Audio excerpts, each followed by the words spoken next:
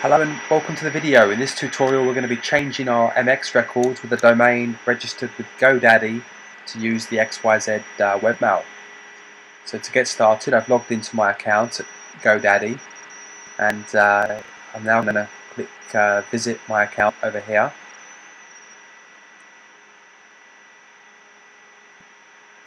So once this uh, page loads it's going to take us to uh, a section where we can view my domains. Just close all the uh, pop-up windows that appear. Um, we're going to click on the domains and press launch.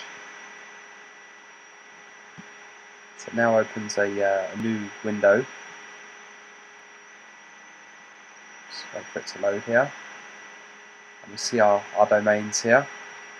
So we're going to click on the domain we wish to manage to change the MX records for. And um, we'll see we've got the settings here. So we're going to click uh, the DNS zone file settings this tab here. And we'll see there's uh, mail exchanger MX records here.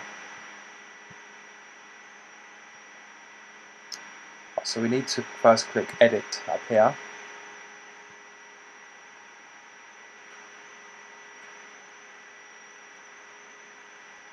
And once it's uh, loaded, here we go, we'll be able to uh, edit these settings. So what I'm going to do, I'm going to add one here. It's going to be a priority 10.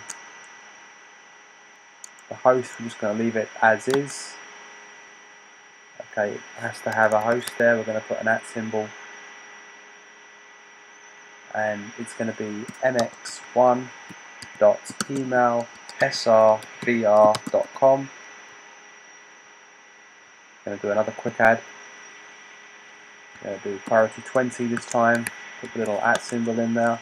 mx2.email srvr.com. And these ones here, we're going to remove them. So we don't want these and then once we're done editing should have these two settings here. We're going to click save zone file. So you're about to modify OK so it's saving. It should take about an hour for this to propagate up to four hours perhaps. But then once this is done we'll be able to start sending in receiving email through the XYZ email. It does say here it may take up to 48 hours here to, to for this to propagate. So um, and they don't guarantee any uh, time on that. So it just takes a bit of time for that to, to, fully propagate but really you should be able to start using it uh, within a couple of hours. So we see we've got our MX records pointing to the correct host here. And uh, that's it for the video. Thanks for watching. Bye for now